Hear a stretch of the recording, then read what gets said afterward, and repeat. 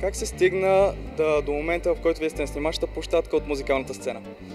Ми, много инцидентно и много така интересно, случайно, ако щете.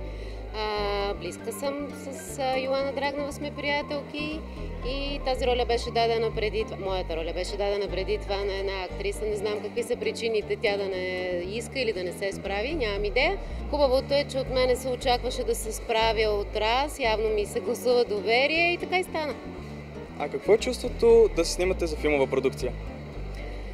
Ми различно е от това, което до сега ми се е случвало. Да, много клипове има, много интервюта съм правила, по много предавания съм се снимала, но тук различното е а, най-вече текста, който трябва да помня без подготовка, смисъл с подготовка. Аз обичам да говоря без да съм подготвена, а там трябваше да наизостявам едни текстове, което ми е изключително голям проблем. И другото, което е по друг начин се снима. Не е като в клиповете.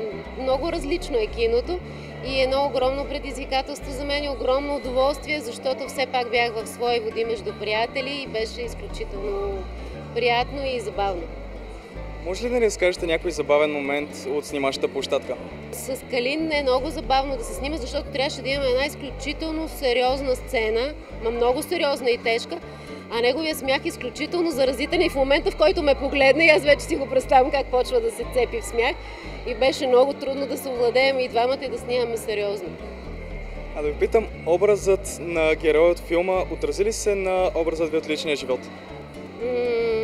не, по-скоро се вписа. Тоест, аз преди това ви казах, че много често за приятелите си, за близките си играя ролята на психолог. Обичам да съм съпричастна с проблемите им, да им давам съвети, да ги подкрепям, да се поставям в техните обувки, както има една дума, или на човека от среща да им давам, може би, правилните посоки. Но това не го правя за себе си.